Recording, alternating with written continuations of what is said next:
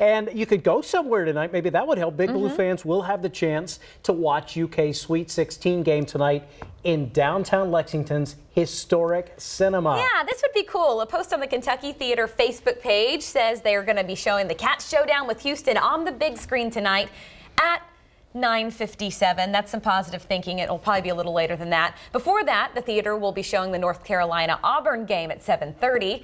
The Post says the event is free and family friendly. Guests will have access to a variety of beer, wine, soft drinks, candy, and popcorn. Mm. So if you don't have a game plan tonight, head downtown. That's an option.